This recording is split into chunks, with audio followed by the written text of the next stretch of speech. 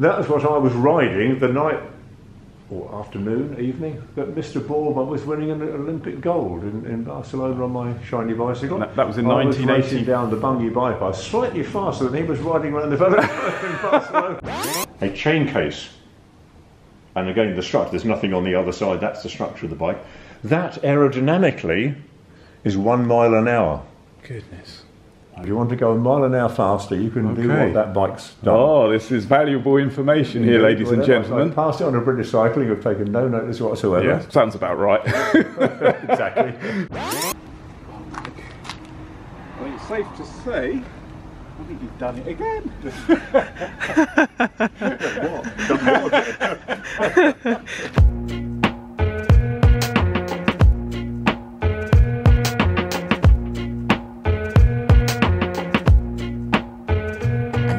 got young man.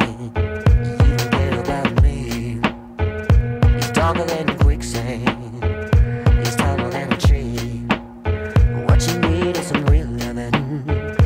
Young fools. I got my own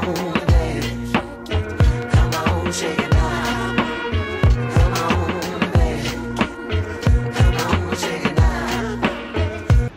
Good morning and welcome to the VeloAds YouTube channel. I'm at Mike Burrows' workshop. Mike Burrows, if you don't know, is a famous bicycle designer and an engineer and a good friend. We, we've raced together for quite a few years and hanged out and drunk a lot of beer together. It's uh, a miserable day. Theo's running around in the rain, absolutely having the time of his life. Here we are in Mike's workshop. Come on in. Awesome. Here's the man himself, legendary bicycle designer and engineer. One of the the best, I always say. Stuart always says one of the best. the only one. There's nobody else out there. yes, exactly. This is, I think, my in total my sixth workshop. I, I started in, in garage at the bottom of the garden. Yeah. Whatever. And the, Uh-huh.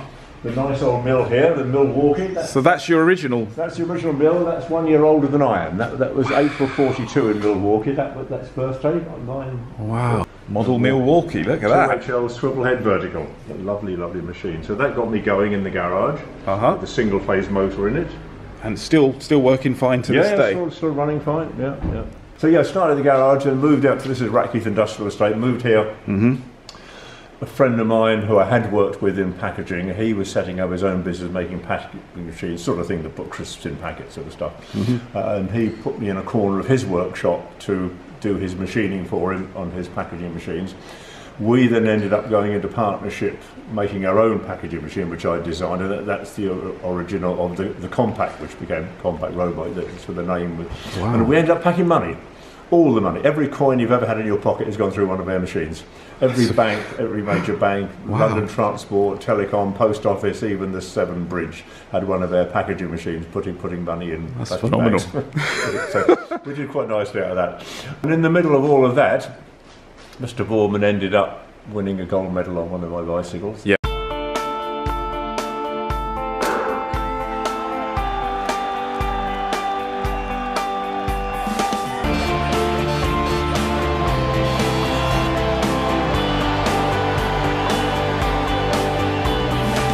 Famous Sort of uh. Lotus machine. that, that then suddenly made me very, very famous for 15 minutes. That then got me a job with Giant Mm-hmm.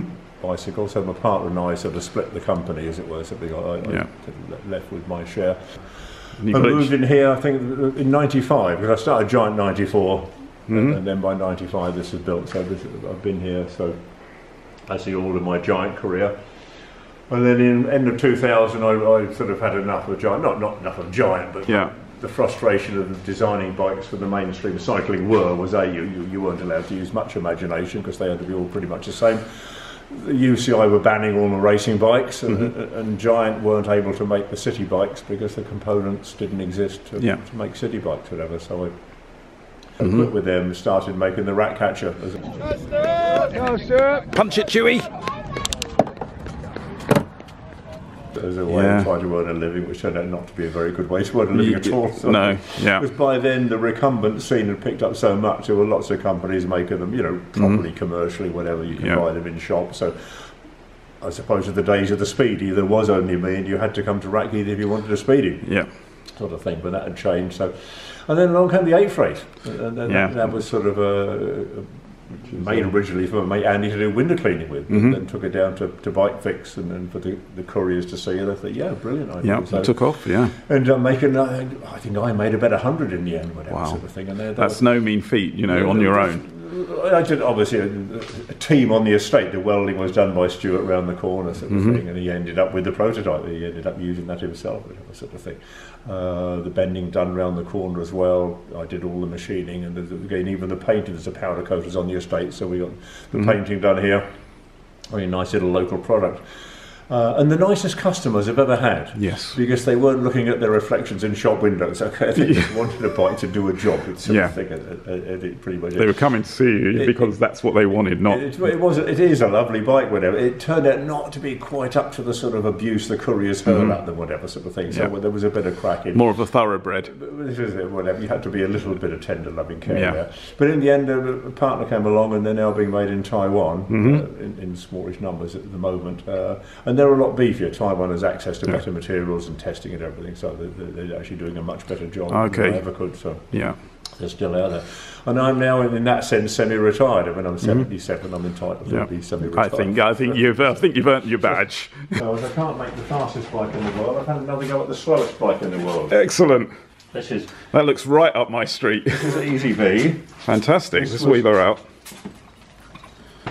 And then This is something I've tried to do several times. Giant actually commissioned me to make the first one, which is basically it's, it's, a, it's a little town recumbent. Now, as, as a long-term builder and racer of recumbents, there's no point in building this bike because what this does is what bicycles do perfectly well. Yeah. There's nothing wrong with a safety bike; it functions wonderfully. If you don't want to go very far or very fast. Now this is so upright, it can't go very far or very fast. It's no more comfortable than a bike, but it's sort of quite. It's a bit of fun if you want something a little bit different. Mm-hmm. Say this this is a was a third attempt at it. And this one has got the again front wheel back, so you there is a certain overlap, but by using short cranks and a, quite a wide Q factor, you can get round a reasonably tight corner without touching. Okay. So there, there might be some justification in it. Easy I can't beat. see me ever making any more of them, but it was a little bit of fun just to be doing while I was waiting for my shiny body shell to What be size made. is your little chain ring there? Just a little ring, whatever. Yep. And obviously, shook 140 cranks. That, that Lovely. So, and again, this is just sort of it's an easy start. Oh, lovely.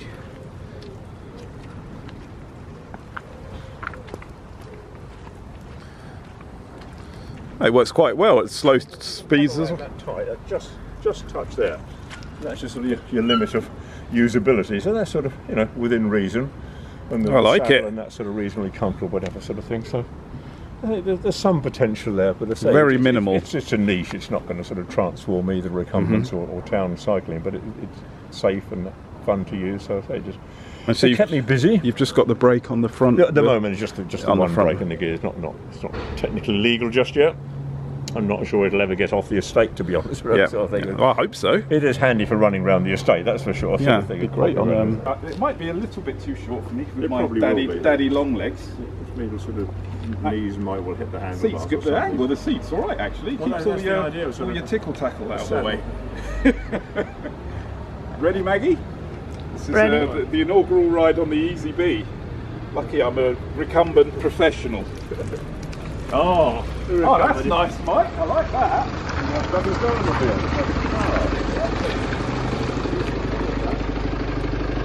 Yes. Oh, very stable as well.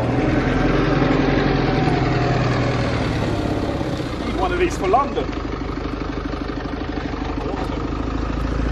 Oh, the wheel, the front wheel's fine. The clearance is okay.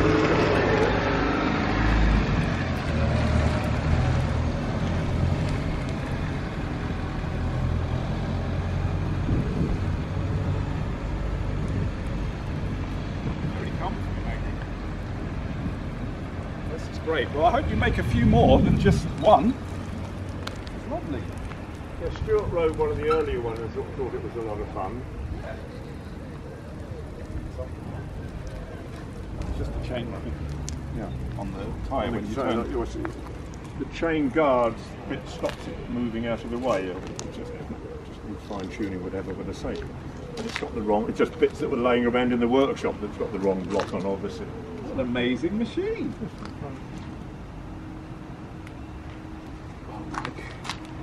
I mean, it's safe to say, I think you've done it again.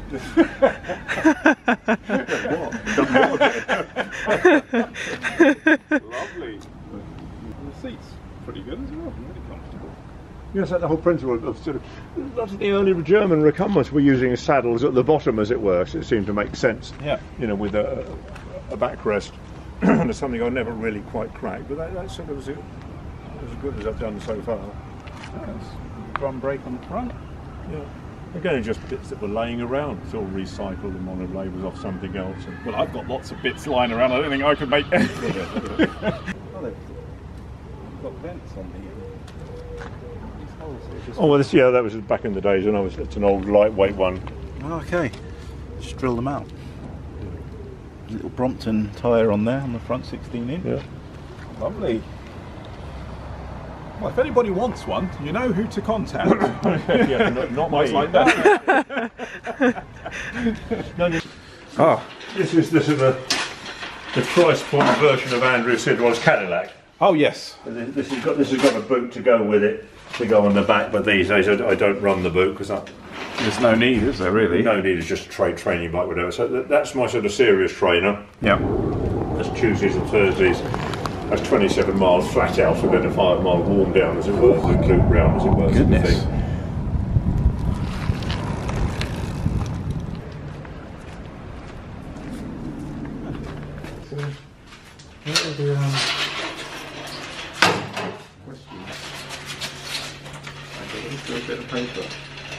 But then if the, if the weather's not so good, if it looks like it might rain or, or if the road is wet, then it's the rat catcher. Uh huh. Which is that one? That's the regular one. Is that the disc disc setup in the front? Yeah. Yeah. So that's my, my, tour, my regular touring bike, of course, whatever. But that, this gets used as a, a training run. Yep. My favourite machine ever. Nice, but uh, I, I, I treated myself to this. Ooh. This is Ratcatcher Black. This is the all carbon fibre version of the other one. So Should we take this one outside? yeah, yeah, can- all, all can film it molded in the carbon. Beautiful. Uh, Ladies and gentlemen, is the first all carbon fibre rat catcher. Nine. Look at this, Stuart. That was literally just a treat to myself, a one-off. I say Stunning. that's carbon over foam. And that would that would be a lot more expensive than the standard. Oh, one. it's, yeah, but it's, it's not a reproducible process. That's the problem. There's rather too much tender loving care and everything, sort of thing. But uh, How much does this one weigh, Mike? it's about two and a half kilos less than a regular rat catcher. Which is a, a nice reduction.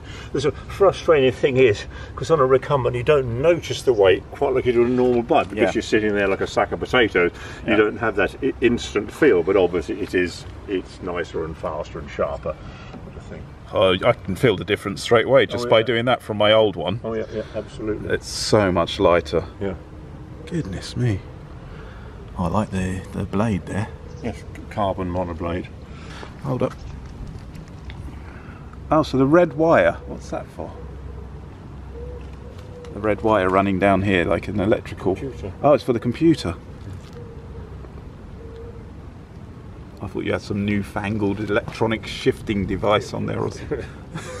so it's set. Uh, the seat there. There's no adjustment there. No, you, Joe, no, you just set it. obviously I've been riding a rat long enough to know. Yeah, where you need it. Fantastic. Wow. This bike has blown my mind. I've never seen a full carbon rat catcher. Ever. I see you've got a rim brake on the back.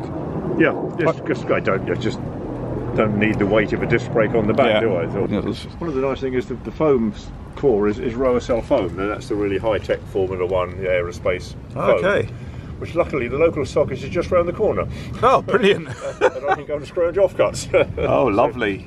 Oh, that's handy. It is. Because eh? then you get them really cheap as well. For, I get them for free. I get very, very expensive foam for nothing. Oh, it's a shame there's no pedals on it, Magda. I'd love to ride this. This bike is the the exact same model except for the carbon fibre. I had an aluminium tube one that I rode to Norway from London. And back. Well, not back, but I rode up to Lillehammer. Well, Lillehammer, we went all the way up to Trondheim or wherever it was. I can't even remember now. It's cold. Don't do it. Don't go in the winter. right, let's put this back and see what else we can get out. Yeah. I'm like a kid in a candy shop here. It's starting to rain again.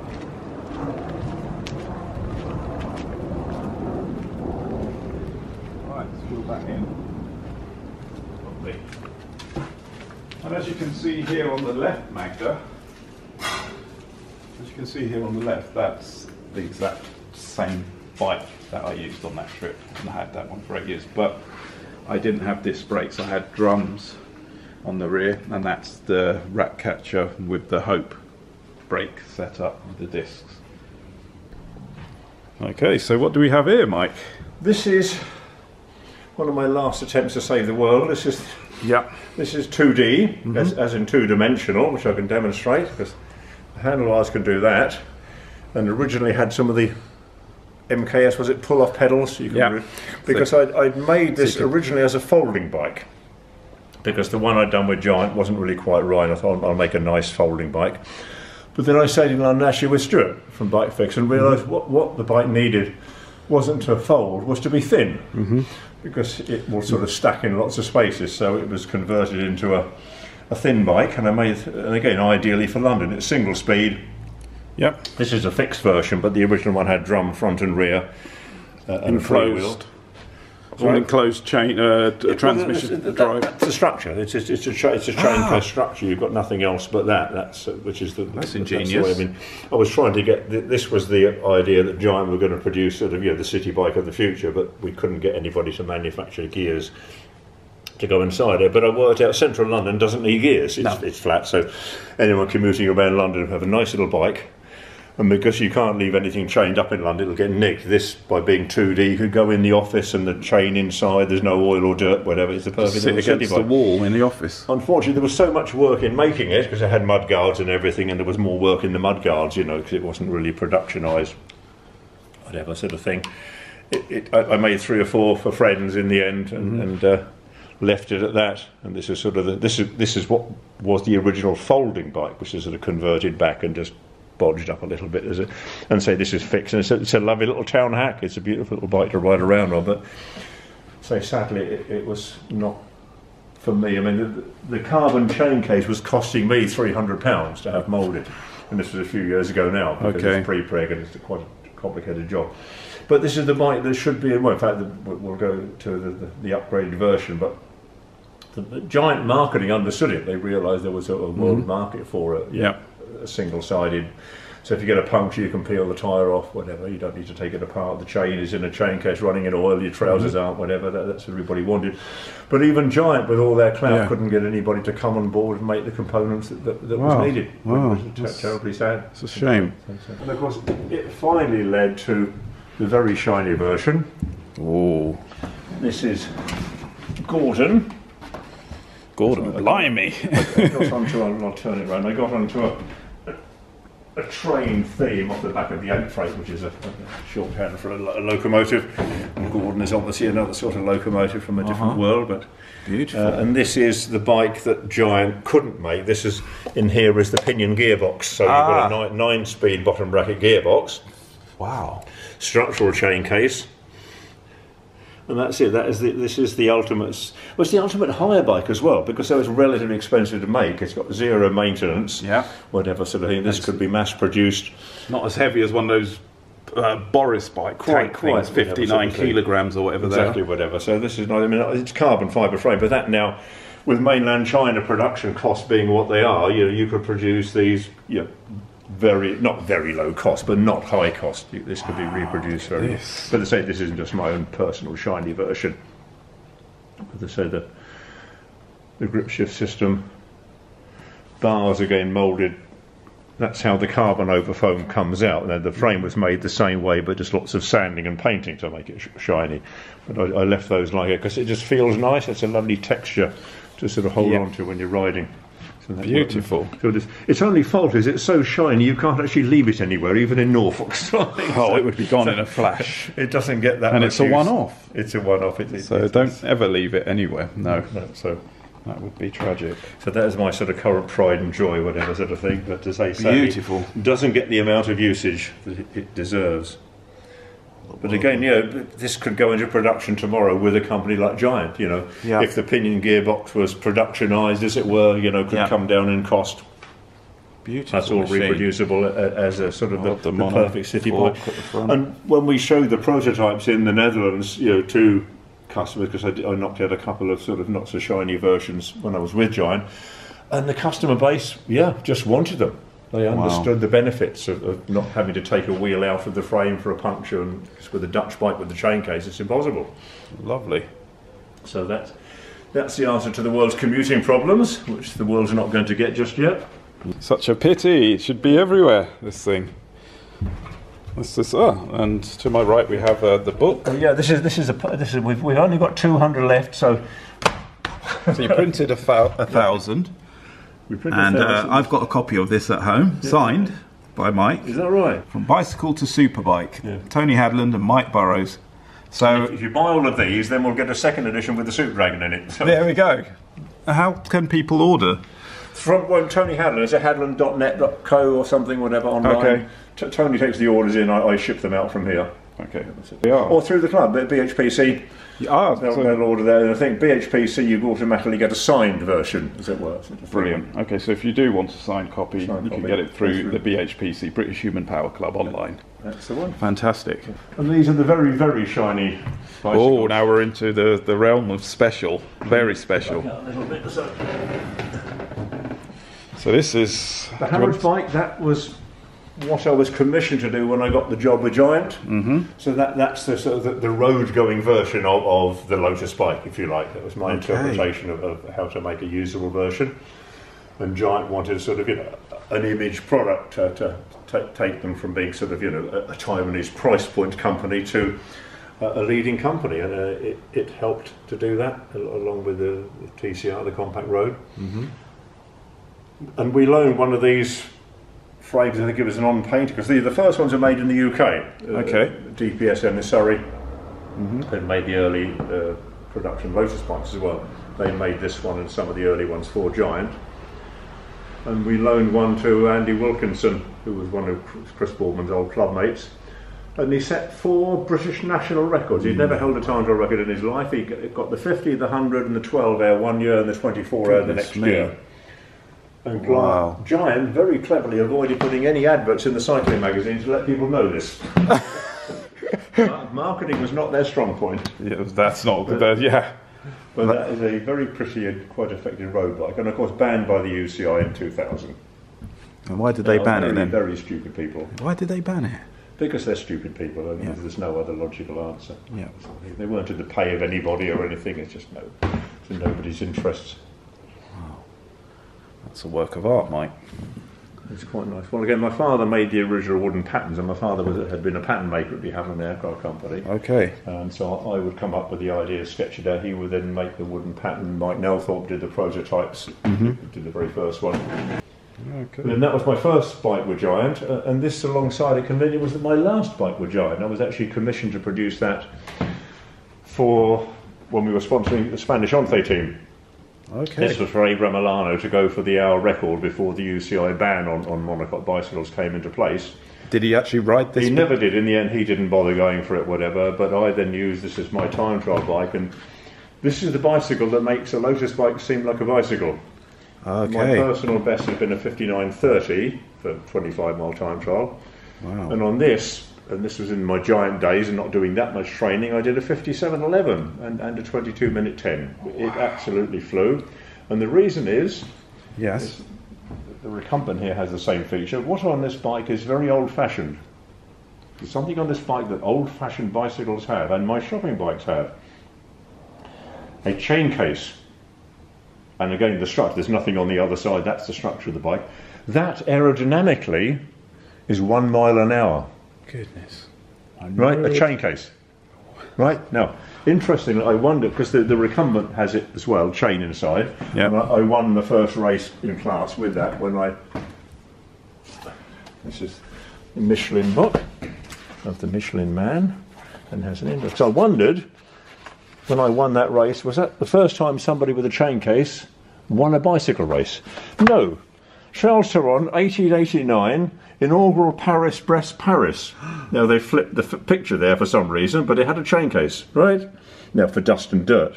Hmm. Interestingly, the publicity shot, they'd removed the chain case because it looked a bit naff. Racing bikes didn't have chain cases, Yeah, it's did like a they? city bike, yeah. but this is it. That's the first time a race was won with a chain case. But again, he didn't un- appreciate the aerodynamic benefits of it, Yeah. or he wouldn't have been sitting upright on his So that's worth one mile an hour. Yeah. Now, it would be interesting to see how the UCI tried to ban chain cases. They're not exactly innovative. Okay? No. We've got prior art from 1889, for Christ's sake.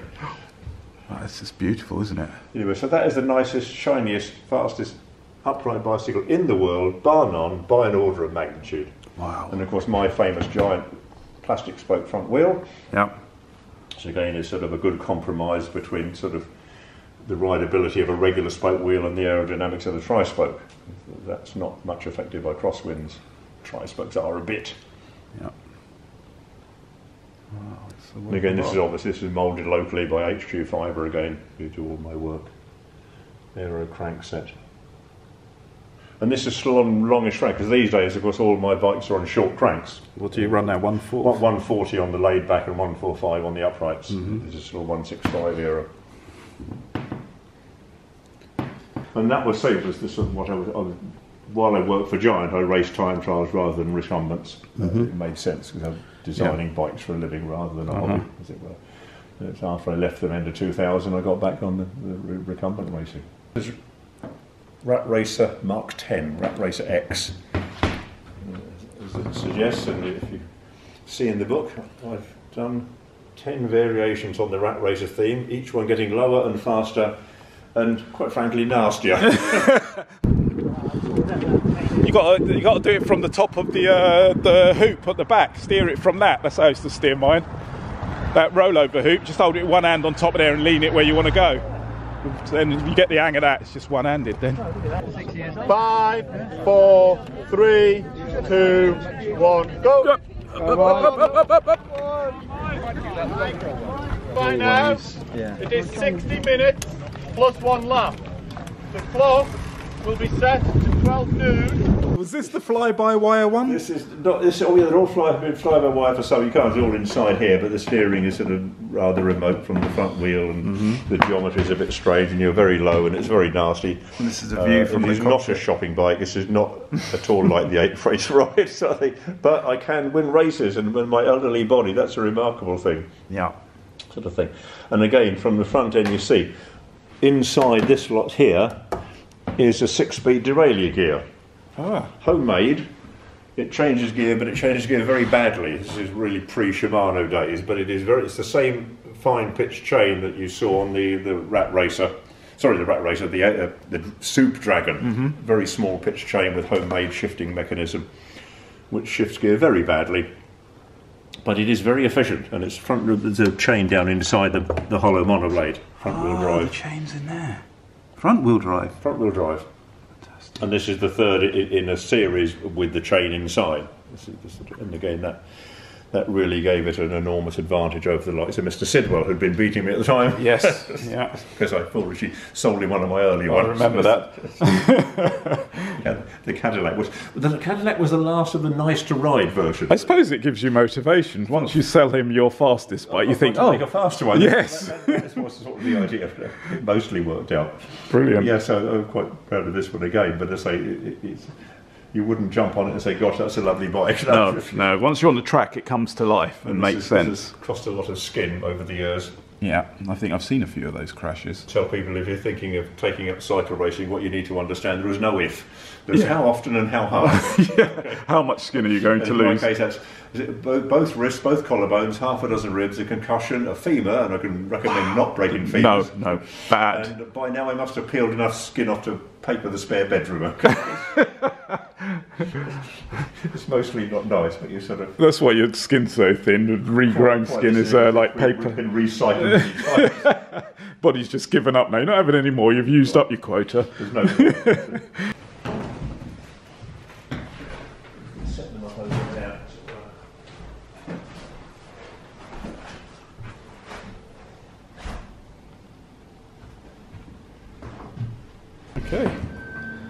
Okay, so- Right. One for the traditionalists out there. Okay. and Uh, yes. Nothing against steel tubing. It's wonderful stuff. And uh, how I used to work. This is not 531. This is actually Ishiwata 017, which is slightly light, I recall. This was my 1981 best bicycle in the world. And this, as you can see, has a split seat tube. Now, I invented the split seat tube, possibly for only the seventh time. What I didn't Really? realise at the time, it had been done many, many times Yeah. over the years, and it allows you to get this super short wheelbase. Now, mine is even shorter than normal because you can see the bottom bracket shell is cut away, so the wheel runs inside the bottom bracket shell. Now, Wow. no one has made shorter, to my knowledge. That is a short. That's now, the irony was, despite all this ultra short this, ultra short there, fake Mm-hmm. paper clearages, it was like riding a bicycle. Really? But this is the one I rode in, in the 12 hour time trial I did. Mm-hmm. 247 miles. No, 243.470 miles Wow. in 12 hours.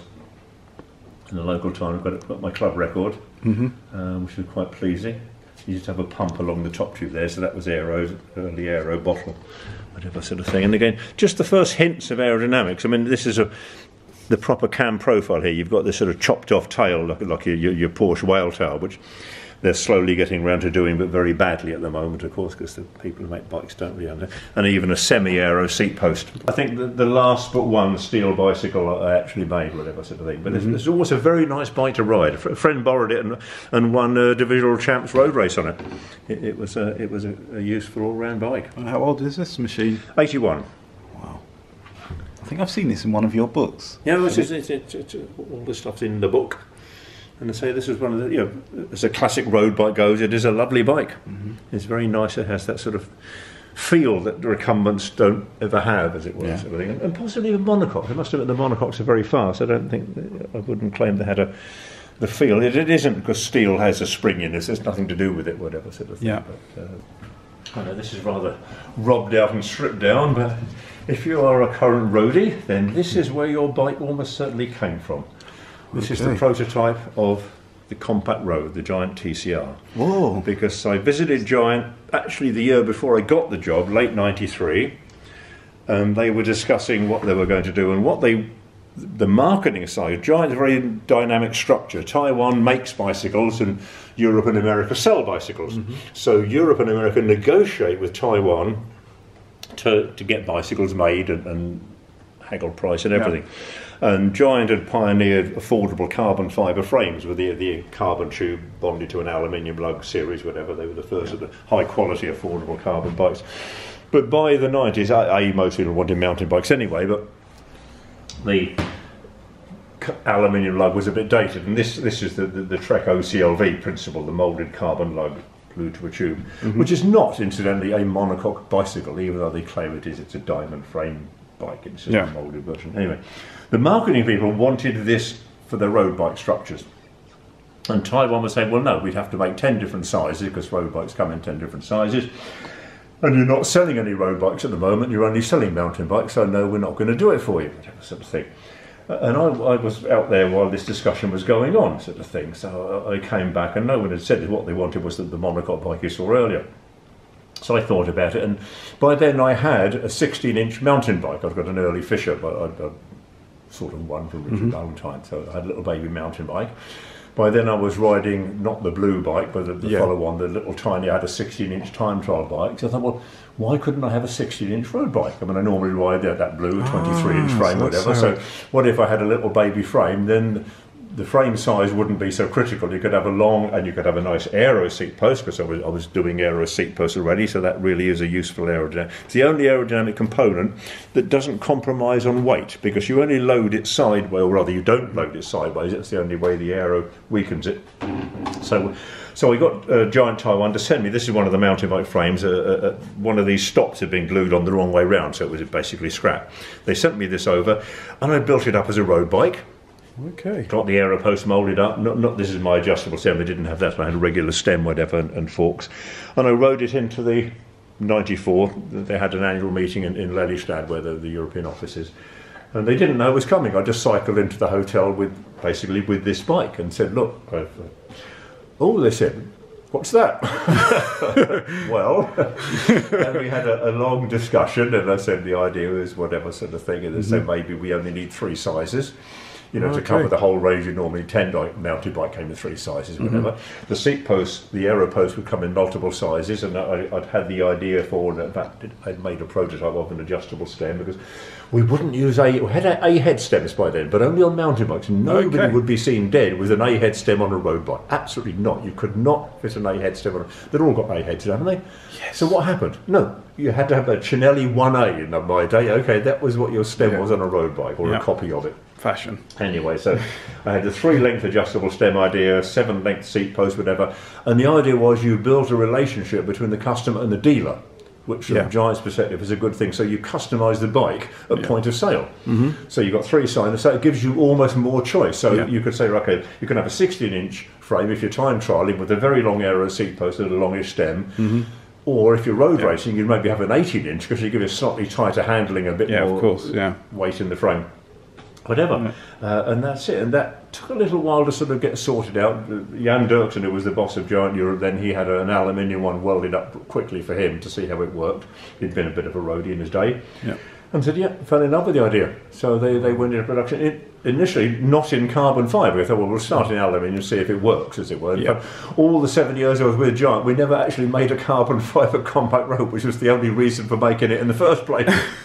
What, what, what was their aversion to making Well, it? they, they didn't have an aversion. Just the aluminium took off so well, they didn't Yeah. need it, sort of thing. And we did the prototypes, and that's it. And then, you know, it went from Taiwan being the people who copy to the Italians being the people who copied the Taiwanese, of course, because Yeah. obviously all bikes are now compact road, as it were. Amazing. And it was a massive success, and particularly when our agent in Spain said, "Would you like to sponsor the Once team?" You know, I think on, on look at the time, whatever. So we, Yeah. we went out. I, I flew out there. We met Manolo Saiz in the gang, whatever sort of thing, and showed them the compact and explained the thinking behind it. And they said, "Yeah."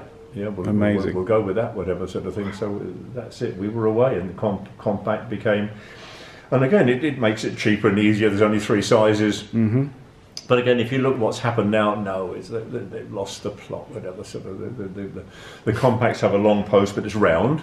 No, the rules Yeah. don't say it has to be round. It can be aeroish, certainly, whatever sort of thing. The time trial bikes have level top tubes and aero posts, but little short ones. Where did that Yeah. come from? No, these are just stupid bloody people, for Christ's sake. Don't understand it, whatever. Yeah. So they just no confidence or whatever sort of thing. Anyway, Yeah. but for a while, we were- Giant were making very nice bicycles. with Pushing the boundaries. The other little feature is here. That's a little inline adjuster, which you almost certainly have on your bike somewhere. Mm-hmm. Now, that was my idea. I, I, I made up one originally for the monocoque bike because the monocoque wasn't going to have external cables. Obviously, Yeah. it's like pylons in a national park, whatever. So you couldn't have the, the traditional on the side of the down tube stops, whatever. So this is basically it's a, a sailing a bottle screw in reverse, whatever. Yeah. So fine. So I just made up a prototype, sent it out to Taiwan, said right, you can use these on the bike. We were then having a discussion about compact road and the fact that when you reverse the braking for UK to Europe, mm-hmm. the cables rub on the side of the head tube. It's Yeah. an annoying factor, whatever sort of thing. I said, well, you could use my little inline adjusters. Oh, what's that? And they'd forgotten about it. So anyway, it was in a drawer. I grabbed it and brought it back in. I said it was for the MCR, the, the moulded bike. You could use it on the TCRs as well. Oh, I said, that's Brilliant idea. so Yeah. Giant then put them out to their subcontractor. Giant make, don't make bits in house; they make frames. Mm-hmm. Over their subcontractor, he looked and thought that's clever. Went online, no one had taken out a patent on it. so the subcontractor took out the patent. Now, I don't get royalties anyway, whatever. But Giant don't get royalties on this. Oh, They're on no. every bloody bike in the world, okay? And this little guy in Taiwan. Now, this is what tells you this talking of conflict with China is meaningless. They don't get into conflict. Giant didn't have a row with this guy. It's Mm-hmm. Fine, okay. You're going to do us a good price? Of course he is. Yeah, of So course. Giant get their ones from this guy at a much better price than everyone else Yeah. in the world gets theirs, and that's how the Chinese work. okay? Yeah. But all of those out there, and I don't get any royalties. It's not that galling. No, yeah, I mean, know? you, yeah, yeah, you, it's, uh, it's unbelievable. whatever sort of thing. But Yeah. it's a, a world famous widget, as it were. So Yeah. Interesting. That, that I did that first. I did the end of bit there, which some people now use. Mm-hmm. But I abandoned that because it's potentially easy to damage and it buggers up a very expensive Machine. brake lever. Whereas that, that bit is obviously not physically connected to the brake lever, sort of thing, gear combined, whatever. So it seemed a more sensible arrangement. But anyway, there are lots and lots of them out there. Actually, this isn't quite a production TCR. Having designed a bike that only needed three frame size and you could Yeah. customise for everybody, this was actually specially made for me. Ah. this, this has the seat tube of the small, I a 16 inch, but the top tube of the medium. So uh, the slightly longer top tube because I like a very small frame, obviously. Whatever. Okay. Is a bit too extreme for most people. So this is ironically a custom version of a bike that didn't need to be custom made whatever sort of thing. These are the production giant wheels, which are a bit of a compromise on my original designs, a little sand. Not everything works out perfectly in, in production, whatever. But this was, yeah, this is the most influential bicycle in the world.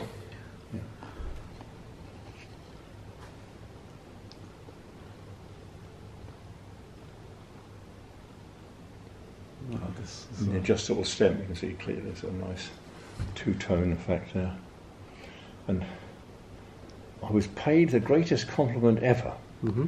by Antonio Colombo, the boss of Cinelli, right? Yeah. He said he wished he'd designed this stem.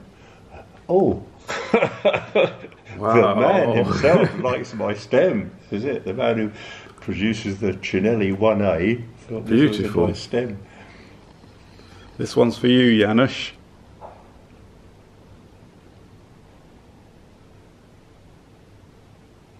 beautiful.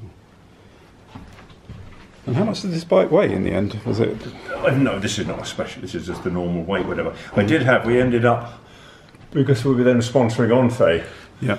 And the, the marketing people said to Type, look, okay, but this is race, can you make some lighter bikes? Doesn't matter if they comply with JIS standards to race Yeah. something, whatever. So they, they, they then they do their own drawing in house Yeah. entirely, make their own, so they drew the tubing much, much thinner.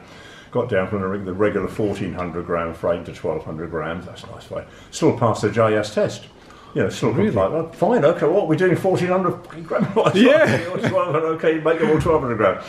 Right, and now make some lighter ones for ONCE. Yeah. Well, actually, we can't draw the tubing any thinner because the, the Yeah. core, the, so they end up getting some more bulk sort of core material, special alloy they got from the States, 6013, with something a bit different really. Yeah. Got the, they got down to 875 grams. No way. That got halfway through the JIS test on fatigue before it finally started failing. So that started out as sort of Jalabert was the leader, Yeah. then Sunday best bike only, whatever. In the end, they all had them, they all rode them all the time. so I ended up with one of those as well, that they really were anodized only, no paint on them, whatever sort of thing. Super lightweight thing. Sounds a fantastic. 875 aluminium frame. And that was the other thing when I left Giant. Seven years, very Mm-hmm. successful. I I was, you know, by default, the most famous bike designer. Yeah. We'd had this wonderful cooperation together, not transformed them. Giant already the biggest and best in the world, but you know, suddenly Yeah. people understood they were with the compact road and everything, um, getting all the way. No one offered me a job when I left Giant. Really? You would think. All these other bike, biting the, your the hand world's off. most famous bike designer who's worked with Yeah. Mm-hmm. Giant very successfully is available. Yeah. No. No. They don't. They don't know. They don't bike design. Yeah. Colour and graphics, maybe an inch or two of the top tube, and pick and mix with the Shimano. Yeah, of course. that's Bike design. All the seven years with Giant, honestly, I don't think I met another person I could call a bike designer. Yeah.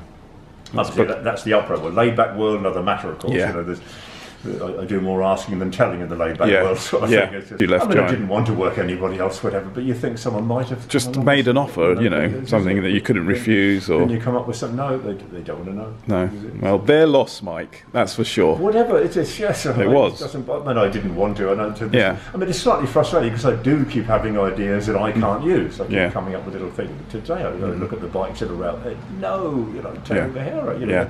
that really shouldn't be like that. You know, Yeah. you know, I- I- ideas that on the 81 bike there that mm-hmm. still aren't being used. You could put into practice Yeah. Yeah. make bicycles better. And why wouldn't you want to? Yeah, we want more, especially at the moment, we want more people riding bikes. Yeah. It's about to become an NHS practice. The doctors are going to recommend Yeah. riding bikes for Christ's Yeah. sake. Even And, Boris is trying to lose weight. What they say, Boris Boris is more famous for whims and policy, I think. Yeah. I'm not holding my breath on this one, sort of thing. But, Yeah. but even that, aesthetically, the castings work.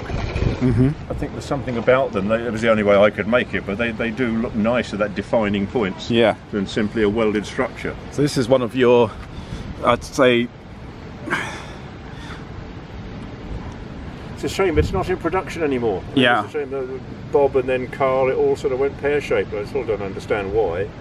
so this is one of the uh, uh, most known designs of Oh yours. yeah, it has to. The, the Speedy was the, is obviously the, the best known. Well, uh, the Lotus bike ultimately the Yeah. most famous bike, but but things I made myself. Mm-hmm.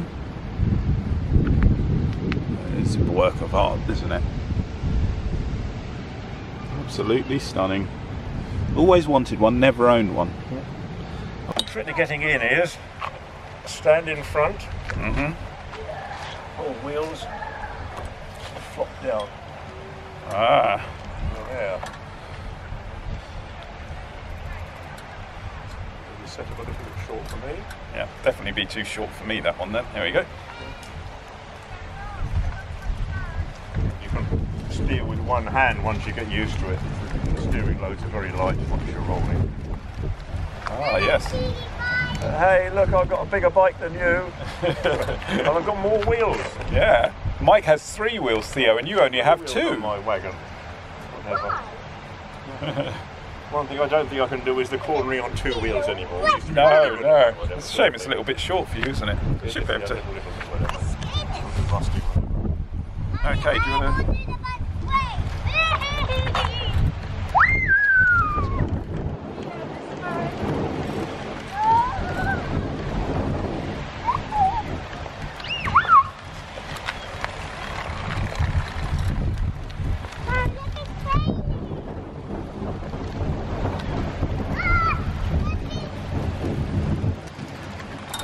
Fantastic. First gear. we, ra- we raced in Switzerland when- as part of the Tour Sol race. Uh-huh. Fairly speedy. And the scrutineer was checking it out. He said, "Where's your reverse gear?" no, we're not. we're not like them. It's Brilliant. So, how many do you think have sold worldwide? It's 500-ish, I think. Okay. Something on, on, on the, And uh, was the never sort of thing. What year did? Uh, what year was? I don't know. This, this is one of Bob's, but I, it just got sent in because there was a casting had come on glued, something like that. And you, you came up with the idea for these in uh, well, eighties. Uh, well, 80, we built the first straight line because uh, I share the honours of the first road-going recumbent trike with George Yeah. Rasmussen, Denmark, he Yes. light truck. And we discussed it the other year at the Spezi as to who was there first. And George just beats me by a head, as it were, because he built, I think, his first one 81. Now, Yeah. I built my first one 81, but that was a straight liner, it wasn't the Speedy. So having got the straight liner and discovering that doing a one hour race is very different from recumbent, we then built the first Speedy off the back of that. So Okay. late 81, 82 was the first Speedy, made purely for training Mm-hmm. for the original straight line to get the, the rider up to speed for the one hour race. And of course, it was just so much fun, we just So- started making them. So now they, they started off as aluminium, then then uh, you had the magnesium, obviously, and No, there was very few. Only, I, I've only made one with magnesium. Bob made it with magnesium castings. Know, I Okay. the, the lightweight, which was fairly late on, with that halved the weight of everything: thin wall tubing, aluminium brake. there's never been a carbon fibre, complete carbon fibre jobby. Well, only the one that's in set, the Mark Seven. That's a Yes. carbon. That's the uh, the Mark Seven was an all carbon chassis. One Ah, okay. piece molded, the same as the the, the Rat Racer, but wet rather than pre-preg. And that- Fantastic. Up until that point, uh, the, the very nice one, which Ian Sheen ended up with, was the Mark 6 and that had the higher strength aluminium. This is sort of boring aluminium grade. They were higher strength aluminium, and they were all fancy machines, so they were fancy lugs. Whatever. and a lot of machining. Pimp my ride. and that, that was a, that was a very nice bike, the Mark 6 Uh-huh. that, that, that handled. But the That's- Mark 7 was the so you've just bike. got the one brake lever there. That's brakes, both both front brakes. Mm-hmm Front changer, rear changer, uh, and uh, this doesn't have one, but we used to have a parking brake, a spoon brake on, on the back wheel just to stop them rolling, because the tyres to roll away. Of course, yeah. sort of very bottom on that, whatever. But so this, this is the the final 3A version, as it were, exactly the same as the, the ones I was producing, but just the thing is, these are tubed rather than the original one was a full casting there rather than tubes and casting. Okay. All on one lever, the brakes. Yeah, lovely. Yeah. And again, that was that was that, that was the only we didn't have this side lever when we first started. Just had the the, the brake lever was all you had for steering, and instead of a universal joint, which this one has a proper proper U, U, nylon UJ, instead of having that, we had a piece of hydraulic hose. Ah, That was okay till you put the side hand on, yanked hard, and it all just unfolded. Yes, Split and then you're flopping And around, You went yeah. straight on. Been- that would have been yeah. Quite a yeah. learning curve in those days. Oh, fantastic. The first few castings, the glue didn't work very well, so we, we learned about gluing things properly. Uh huh. Always had the drum brakes, so we've never done them with discs in the end. They're no. just 70s on there. yeah? Discs are a bit lighter and, and a bit more powerful. You don't really need that sort of thing. So Yeah. it's sort of, Bob and I sort of contemplated going to discs several times and in the end never did. Stuck with the Oh, lovely. Drums. The nice thing with drums is they're, they're, they're zero maintenance. They Yeah. They're, they're Yeah. more than enough power. I mean, in the day you could lean forward just a tiny bit and you lifted the back wheel off the ground if you stopped really hard. So Wow. it dropped back down again. So it's enough braking power, you don't need Load any more. tricks we, did we learned. Yeah. So I think I'll just film around the back. ladies, but yeah. But this, helped, I think, it helped influence the whole of the HPV movement in Europe. Mm-hmm. Because it started with what was going on at Battle Mountain today, pure speed. And then we turned it into a sport, and then once it got to Germany and, and, and the Netherlands, it sort of it became a bit of a sort of a green symbol, as it were. It became Yeah. an environmental statement. Uh, and the speed just dropped into that perfectly. You know, you, you could ride to the event, you could win a race, uh, and put some beer in the boot to bring it home. And then ride home. Fantastic A, a group of German lads who were actually buying sets of castings off me and taking them back and having them machined up in the factory and flogging them in Germany, whatever. And every time they came over, they'd bring me a crate of wheat beer. Oh, lovely. nice. That'll do it. It's a drink, whatever sort of thing. So. Yeah, fab machines. Lovely. Thanks, Mike. Well, as always, Mike, it's been an absolute pleasure. And thanks for showing us all your d- amazing machines, which is, uh, I'm sure, whatever. yeah. Well, it's nice getting it out there to people who who haven't seen all the, the originals, you know, which is uh, a chance in a lifetime, really. I've been planning to come up here for ages just to check everything out again and get it documented this time, which is awesome. But yeah, that, that's great. Thank you. Thanks very much for having us. On,